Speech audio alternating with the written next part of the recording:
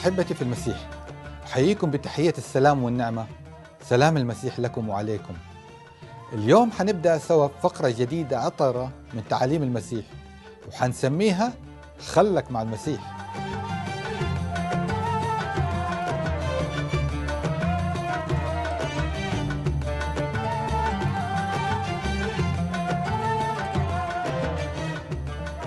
من خلال هذه الفقرة حنشوف سوا تعاليم المسيح وكيف تقدم حلول ناجحة لكل جوانب وتحديات الحياة اللي نواجهها.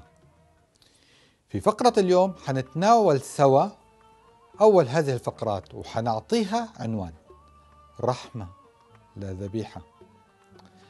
طبعا هذا العنوان مأخوذ من قول المسيح في متى 9 13 ومتى 12 7 والمسيح بهذا الكلام يأكد على تعاليم النبي هوشع من العهد القديم. موجودة في هوشع 6 6 وهذا يأكد لنا بأن المسيح ما جاء علشان ينقض الشريعة ولكنه جاء علشان يكمل الشريعة ويعطيها معنى لما نسمع كلام ربنا ونطيعه. زمان كان الإنسان يقدم الذبيحة لله عرفان وشكر له ولكن مع مرور الوقت صارت الذبيحة مثل الواجب ما لها أي معنى. لما المسيح قال أبي رحمة مش ذبيحة. يعني هو يقول لك أنا أبي قلبك. قبل ما تحط قدامي ذبيحتك إيش أبي بذبيحتك؟ وأنت تكرهني وتتكلم عني كلام بطال. الدليل هو أن المسيح قال بعد هذه الآية أنه جاء علشان يدعو الخطاة للتوبة ومش الأبرار. وعلشان يدعو خطاة كان لزوم يجلس معهم ويكلمهم. وهذا اللي خلى بعض المتشددين بالدين والمطوعين ينتقدون المسيح لأنه يخاوي الخطاة ويجالسهم. ولهذا السبب تلاقي المسيح قال أنا أبي رحمة مش ذبيحة. ما أبي ذبيحة ولا أبي عبادات شكلية باللسان وحركات بالجسم من ركوع وسجود ولكن القلب بعيد كل البعد عن الله. ومن مظاهر تطبيق هذا المبدأ تلاقي أن الإنسان كان يقدم الذبايح علشان ربنا يغفر له ذنبه. طيب واللي ما عنده فلوس يشتري ذبيحة إيش يسوي بنفسه؟ مش ربنا مدح الأرملة اللي تبرعت بفلسين بس لأنها تبرعت بكل فلوسها. الأغنياء كانوا يتبرعون بفلوس أكثر. ولكن من طرف الجيب زي ما يقولون. هذه القصة موجودة بلوقا 21 الآيات من واحد لأربعة فكر فيها. ربنا يدعو الخطاة للتوبة. وقبل ما تقدم ذبيحتك اليوم كن متأكد بأن قلبك مستعد وأنك فعلا هذا هو اللي تبي تسويه. مش أنك تسويها غصبا عنك. رحمة لا ذبيحة. يعني ربنا يبي إيمان يؤدي إلى أعمال ومش أعمال بدون إيمان. طبعا حنا نعرف أنه الذبيحة كانت ترمز للمسيح وكان الناس يقدمون الذبايح علشان ربنا يغفر لهم ذنبهم. ولكن لما جاء الأصيل يسوع المسيح اللي هو المسيح نفسه وقدم نفسه ذبيحة علشان خطايا البشر خلاص ما في داعي من الرمز لأنه الأصيل جاء. الأصيل جاب نفسه وأكمل المهمة مهمة الخلاص على الصليب. وزي ما هو برهن لك حبه ومات علشانك على الصليب. هو يبيك تحب الآخرين وكل شيء تسويه بمحبة رحمة لا ذبيحة. ربنا يبيك تعبده بالروح وبقلبك تحبه. ومش بالحركات والطقوس. ربنا يقول محبة القريب كالنفس أحسن من كل المحرقات والذبايح. مرقس 12 33 مهم جدا أن تكون المحبة من القلب مش تعطي خويك هدية أو تزور مريض أو تقوم بواجب العزاء بس علشان هذا واجب ولكن سويها محبة. والمحبة من الله. طيب. بس نحب القريب؟ طيب والبعيد والغريب؟ إيش نسوي معه؟ محبة المسيح تمتد لكل البشر. مش هو اللي ضرب لنا مثل السامري اللي ساعد رجال مش من دينه ولا من مذهبه؟ لما تعرض للصوص وسرقوه وتركوه وضربوه ما حد ساعده. ولا هدول اللي من نفس دينه. ولكن السامري ساعده. القصة موجودة في إنجيل لوقا الإصحاح عشرة. ربنا مدح هذا السامري المدح الصحيح. روح سوي نفس الشيء مع خويانك علشان يفرح فيك المسيح. وبركة يسوع المسيح معكم جميعا من الآن وإلى الأبد. آمين.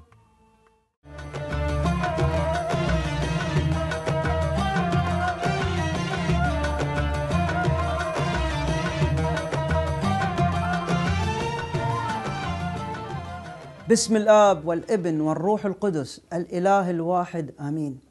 أهلا وسهلا ومرحبا فيكم أعزائي المشاهدين في الفقرة الأولى من فقرات سعودي مسيحي ونبدأها باسم الإله الواحد المحب السلام الرحمن الرحيم خالق السماء والأرض ما يرى وما لا يرى وببركة سيدنا ومخلصنا يسوع المسيح له كل المجد القائل سلاما أترك لكم سلامي أعطيكم. ليس كما يعطي العالم أعطيكم أنا.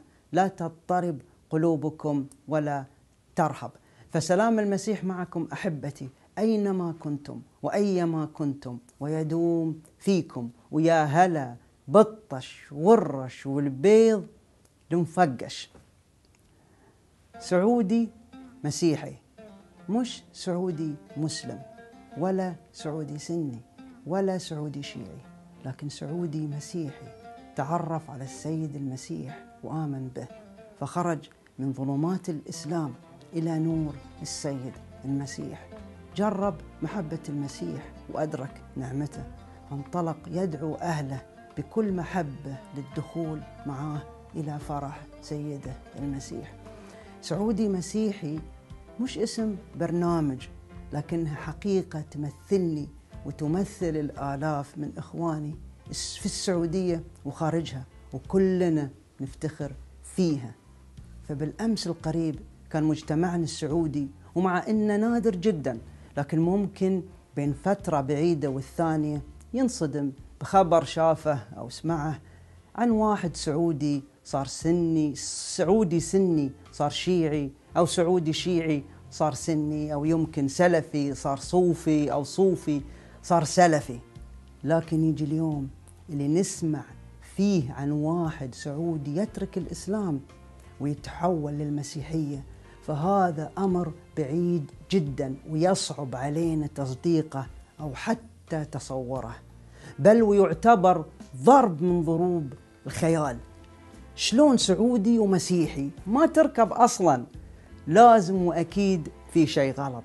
نشعر إن أمر مستحيل وغير منطقي ومش ممكن تقبله خاصة في مجتمع منغلق على نفسه. ومعروف بتشدده الديني وتمسكه الشديد بالعادات والتقاليد. وتعلقه المطلق بالقبيلة ودفاع عن سمعتها بنفسه وماله وكل ما يملك. مجتمع يرى فيه العالم صورة الإسلام الحقيقي. وإن مثال وقدوة حسنة لكل المسلمين في العالم. أرض التوحيد وقبلة الإسلام والمسلمين ومرقد سيد المرسلين وفيه تطبق شريعة الدين الحنيف ويلقب ملكهم بخادم الحرمين الشريفين وحتى الجنسية لا تمنح إلا للمسلمين. وطن مش مهم في شيء بقدر أهمية الإسلام. فكل سعودي منا كبر وتربى وتعلم وتنفس وطبق وعاش الإسلام. إسلام في البيت وإسلام في الشارع إسلام في المسجد وإسلام في المدرسة إسلام في الإعلام وإسلام في الملاعب. يعني كل حياتنا صارت إسلام في إسلام. بالإسلام نتعامل. وبالإسلام ناكل وبالإسلام نشرب وبالإسلام نشوف وبالإسلام نسمع وبالإسلام نحب وبالإسلام نكره وبالإسلام نقطع الأيادي ونجلد الظهور ونضرب الرقاب وحتى الحمام. عزكم الله ندخله مثل ما علمنا الإسلام. أذكار في الصباح وأذكار في المساء قرآن وتجويد. فقه وتوحيد حديث وتفسير سيرة وصور من حياة الصحابة والتابعين وثقافة إسلامية وحتى مواد العربي. والعلوم صارت عندنا في السعودية مواد دين. أوقات الصلاة عندنا إعلان عام لحظر التجول. وفي رمضان مثلا كل شيء يتوقف عن الحركة وتصاب حياتنا بالشلل التام. فلا إنتاج ولا عمل. ولا حياة ولا رزق ولا طاقة ولا حتى أخلاق. يعني الإسلام وكل شيء في حياتنا وإحنا مسجونين داخله سواء بكيفنا أو غصب عنا. ومن ناحية ثانية فكل شيء مسيحي مضطهد وممنوع عندنا. فغير مسموح مثلا ببناء كنائس على أرضنا والإنجيل ممنوع يدخل بلدنا. فلا صلاة مسيحية ولا ترانيم ولا تبشير ولا حتى احترام لا للمسيحية ولا للمسيحيين.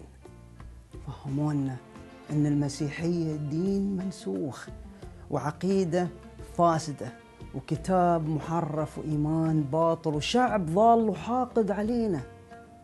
فالمسيحيين أعداء يكيدون لنا ويخططون لدمارنا ومستحيل يحبونا وحتى يرضون عنا مهما فعلنا لهم. فحطيناهم في خانة الأعداء وتربينا على كرههم وصار الدعاء عليهم جزء من صلاتنا وثقافتنا. اللهم دمرهم اللهم نشف الدم في عروقهم اللهم رمل نساءهم ويتم أولادهم اللهم احصهم عددا واقتلهم بددا ولا تغادر منهم أحدا. وأضعف الإيمان أنك تصلي 17 مرة في اليوم عشان ما تكون واحد من المغضوب عليهم ولا الضالين. والنتيجة أننا قطعنا كل جسور التواصل بيننا وبين المسيحية والمسيحيين. فكيف بنعرفهم أصلا؟ أو كيف أو شلون بنتعرف على حقيقة السيد المسيح؟ فعلا شيء صعب وغير منطقي أبدا يكون في منا ولو سعودي مسيحي واحد. فما ألوم أي إنسان. يشوف أمر مستحيل وصعب تصديقه لأن فعلا صعب جدا يوصل لنا النور وإحنا محاصرين وفرحانين بالظلمة. لكن إلهنا المحب رب السماوات والأرض له كل المجد. مستحيل يترك نفسه في السعودية بلا شاهد ومستحيل يترك شعبه اللي يحبه في تيه وضياع بعيدين عنه فأعلن نفسه وصدهم بكل قوة ومجد وفرح وسلطان. سطرتها آلاف القصص والاختبارات اللي تتكلم عن محبة إله لشعبه في السعودية. وإذا كانت الحكومة السعودية قدرت تبعدنا عن السيد المسيح فمش في استطاعتها ولا في مقدورها أبدا أن تبعد السيد المسيح عنا. وإذا كان بالأمس مستحيل نشوف سعودي مسيحي واحد فاليوم ومع إشراقة كل يوم جديد يخلص السيد المسيح نفوس جديدة في السعودية وبأعداد تفوق الوصف. منا اللي يدور عن الأمان ومنا اللي يدور عن السلام ومنا اللي محتاج للمحبة ومنا اللي محتاج للشفاء ومنا اللي يبحث عن إله ومنا اللي يبحث عن نفسه واللي ناقصه شيء وما يعرفه. لكن كلنا لقينا ضلتنا في شخص السيد المسيح. عرفناه وعرفنا الأمان. عرفناه وعرفنا الأمل. عرفناه وعرفنا السلام. عرفناه وعرفنا مشاعر جديدة. وحقيقية أول مرة نجربها أو نشعر فيها. مشاعر المحبة مشاعر الرحمة مشاعر المغفرة مشاعر العطاء مشاعر الوفاء مشاعر الإخلاص. فأنت مستحيل تعرف السيد المسيح وتكره مستحيل تعرف السيد المسيح وتحقد. مستحيل تعرف السيد المسيح وتنتقم. مستحيل تعرف السيد المسيح وتظلم. مستحيل ثم مستحيل تعرف السيد المسيح وتقتل. مستحيل يدخل الشر في قلب يسكن فيه السيد المسيح. وعشان كذا بعنا العالم واتبعناه. مستحيل نتنازل عنه أو نعيش بدونه مهما خسرنا ومهما عانينا. ومهما اضطهدنا ومهما قالوا عنا فماذا ينتفع الإنسان لو ربح العالم كله وخسر نفسه؟ فلسنا إلا سعوديين عاديين مارسوا حقهم الإنساني في السؤال والاستفسار والبحث عن الحقيقة والتعبير عنها. والأهم من هذا كله حقهم الطبيعي في اختيار الإله اللي يعبدونه وتطمئن له قلوبهم. منا من استشهد ومنا من سجن ومنا من عذب ومنا الممنوعين من السفر ومنا المراقبين ومنا من تركوا أرضهم واضطروا للهجرة والحياة في الغربة. لكننا قبلناه بكل محبة وصبر ورضا نفس. وأحب هنا أوضح أن المسيح ما خدعنا ولا وعدنا بغنائم أو مال وحور حسان إذا قبلناه. لكنه قال وبكل صراحة إن أراد أحد أن يأتي ورائي فلينكر نفسه ويحمل صليبه كل يوم ويتبعني. فحملنا صليبنا حالنا حال كل إخوان المؤمنين بالسيد المسيح. ومشينا وراه بدون خوف أو تردد. سعيدين مطمئنين أننا معاه. وإذا كان الله معنا فمن علينا. وإذا كنا خسرنا الكثير فقد كسبنا. خلاص المسيح والحياة معاه فكل شيء نفاية مقابل معرفة السيد المسيح. ما تركنا الإسلام وقبلنا المسيح لأننا جهلة ومش فاهمين ومضحوك علينا مثل ما تسمعون. لكن بعد بحث وتحري واستفسار واكتشاف حقائق صادمة. إحنا أول من عانى منها وتألم بسببها. ولا تركنا الإسلام عشان فلوس وحريم مثل ما يقولون. فكل هذا كذب وافتراء عاري عن الصحة. والحقيقة أن الكثير منا ترك وظائف مرموقة وقبل بوظائف أقل منها بكثير بسبب إيمانه واعتقاده في السيد المسيح. وصدقوني مستحيل تشوفون مسلم عاقل واحد. هدفه يدور ورا وسعة الصدر والحريم يترك الإسلام اللي عطاه الحق يتزوج واحدة وثنتين وثلاث وأربع ويطلق براحته ويبدل في زوجاته مثل ما يبدل سيارته أو جهاز موبايله ويختار يعيش حياة قداسة مع زوجة واحدة بس مثل ما فهموكم. فكل ما يقال عنه كذب وغير حقيقي. لكن مثل ما قال المسيح طوبى لكم إذا عيروكم وطردوكم وقالوا عليكم كل كلمة شريرة من أجل كاذبين تهللوا وافرحوا تهللوا وافرحوا فإن أجركم عظيم في السماوات. صدقوني إن القرار ما كان سهل أبدا ولا في واحد منا اختار يخسر أهله وناسه ويعيش حياة الغربة والاضطهاد. لكن هم ما فيه أحد عاقل ممكن يقبل يخدع نفسه ويساوم على آخرته وأبديته. ونشكر السيد المسيح اللي منحنا القوة والشجاعة في اتخاذ هذا القرار الصعب والمصيري. ومع صعوبة إعطاء أرقام دقيقة لأعداد المسيحيين السعوديين بسبب الملاحقة الأمنية والإضطهاد والحكمة. على أن بعض المصادر الموثوق فيها مثل World Christian Database فسجلت وجود أكثر من 13 ألف سعودي معتنقين للمسيحية.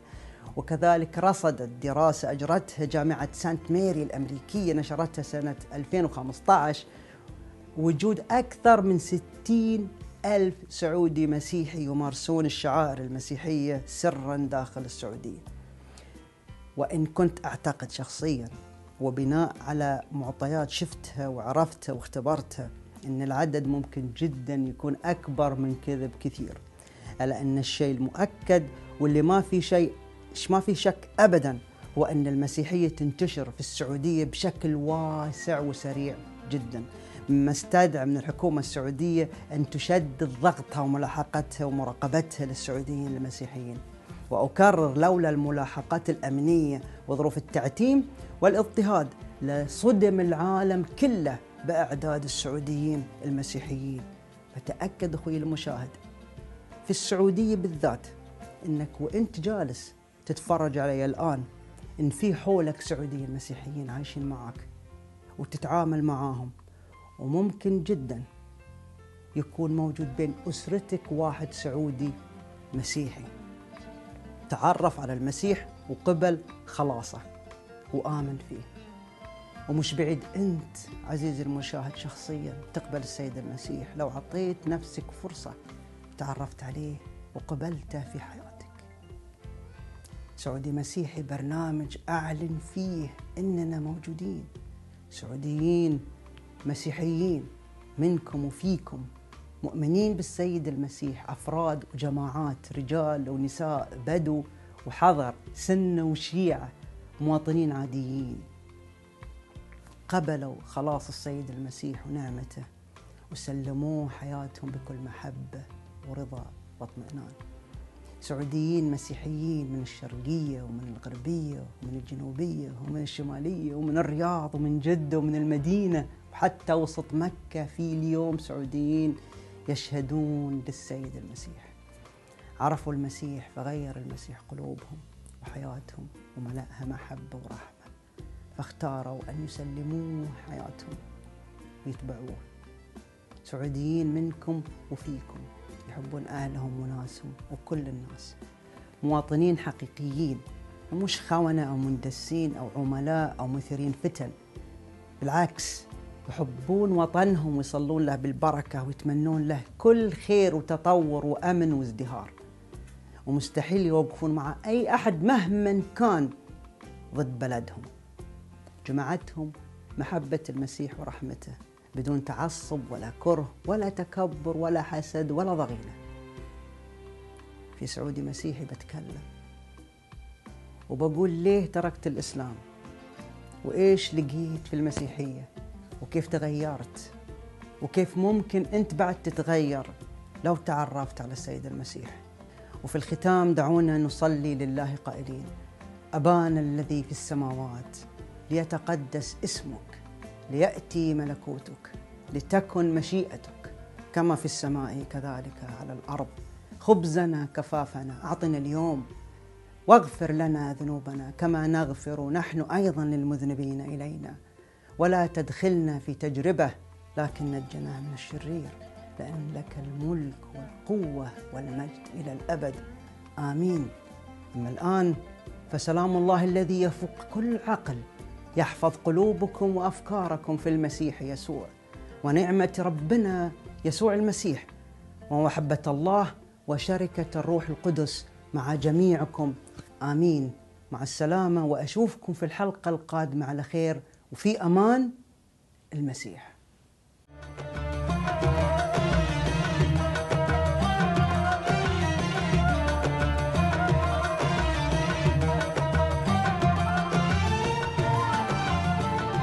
أحبتي بالمسيح يا ألف مرحبا بكم في فقرة جديدة من روائع المسيح.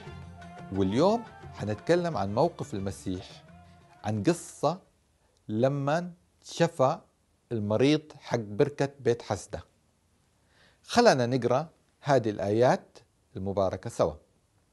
الآيات تقول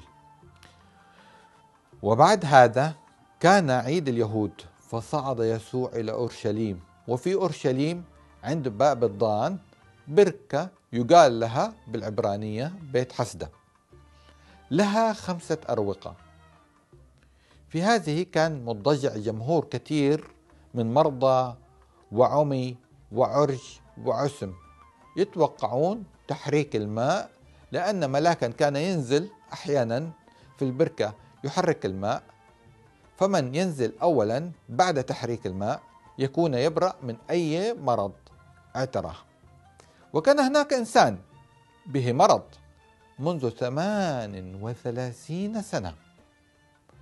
هذا رآه يسوع مضجعا وعلم أن له زمنا كثيرا. فقال له أتريد أن تبرأ؟ أجابه المريض يا سيد ليس لي إنسان يلقيني في البركة متى تحرك الماء بل أين بينما أنا آت ينزل قدامي آخر. قال يسوع قم احمل سريرك وامشي. فحالا برئ الإنسان وحمل سريره ومشي وكان في ذلك اليوم سبت. هذه الآيات من يوحنا واحد الآيات من خمسة إلى تسعة. هذا الرجال المريض له 38 سنة. وهو كل يوم جالس عند البركة يستنى لما تتحرك علشان ينزل علشان ينشفى.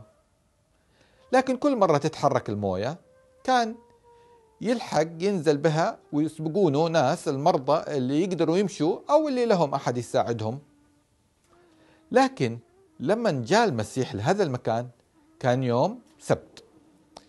وحسب تعاليم الشريعة ما يجوز العمل يوم السبت عند اليهود زي ما هو معروف. إيش سوى المسيح؟ المسيح ناظر هذا الرجال وسأله سؤال بسيط. قال له أنت تبي تنشفي؟ يعني جواب بسيط. إيوه ولا لا؟ راح هذا الرجال قاعد يلف ويدور ويقول للمسيح يا سيد ما في أحد يساعدني علشان أنزل البركة؟ يا أخوي مش هذا هو الجواب. المسيح يقدر يشفيك حتى بدون إنك تنزل حتى البركة. بس أنت تبي ولا لا؟ المسيح يبي الكل يخلص ويدخل الملكوت. لكن هل أنت تبي؟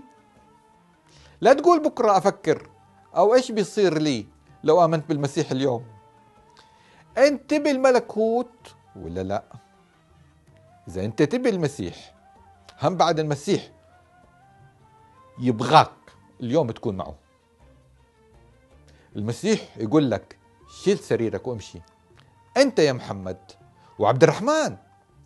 وعلي ومتعب ومشعل وماجد وعبد العزيز.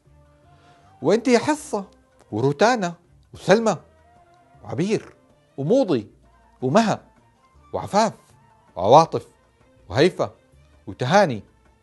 تبغوا تنشوفوا اليوم؟ تعالوا للمسيح وقول معي يا رب أنا أعترف لك إني مريض وما عندي أحد يساعدني أنزل البركة. ما عندي أحد غيرك يا رب. تعال اليوم واشفيني يا رب أنا أبي أكون معك في الملكوت إلى الأبد بالمسيح يسوع. آمين.